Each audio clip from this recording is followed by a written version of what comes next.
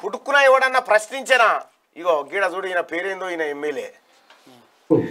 తల్లిదండ్రికి pickup లేకుండా డెబ్బై ఐదు వేలు ఇచ్చి ఇలా లక్ష నూట పదహారు రూపాయలు ఇచ్చి అందరు ఆడపిల్లలకు పెళ్ళి చేస్తుంది చేస్తుందా లేదా? చేస్తున్నారా బాబు? ఎందుకు వస్తుంది లోపల మర్యాద ఉన్నదాన్ని చూస్తే పట్టబడి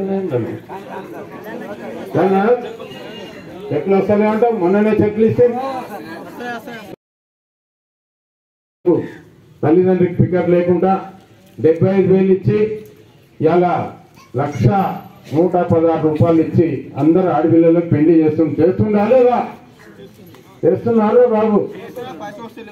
ఎందుకు వస్తుంది ఎట్లు ఇస్తాను దేశం భట్టపతి మర్యాద ఉన్నదాన్ని చూస్తే పట్టబడి చెక్లు వస్తలే ఉంటాం మొన్ననే చెక్లు ఇస్తే. చూసారు కదా? గది పరిస్థితి. వాడిని ఎవడు అడుగుమన్నాడు? వస్తున్నాయరా బాబు అంటే వస్తున్నాయి కానీ పైసలు వస్తలేవు అని చెప్పని అన్నాడు. ఓ తెలంగాణ రాష్ట్రంలో పరిస్థితి. ప్రజలారా వాడు అని ఎవడు అడుగుమన్నాడు నిన్ను? వస్తున్నాయరా బాబు అంటే వస్తలేవు అని అన్నాడు. నీకు మర్యాదలో నీకు బొక్కలేరి ముడి మీద దన్నురు అంటున్నాడు ఆడో ఎమ్మెల్యే వాడో కథ. ఇది ఇది ఈ లఫంగల పాలన ఇది బేకార్గాల పాలనలో ఇక గిట్లనే ఉంటుంది.